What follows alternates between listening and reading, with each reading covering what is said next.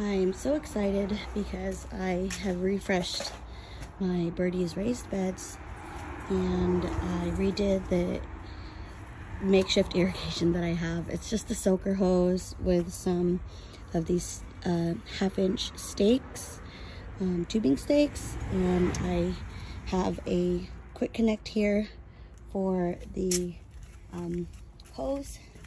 So what I do is I pop this out. When you pull this down, it releases that. And I come over here and I connect it in here. There you go. You just slip it in here and then I turn this on. Also, finally got my Subpod back in. This put your scraps in here and the little holes allows the worms to come in and eat. I have been wanting to do this setup for some time now, so I'm really excited I got it working.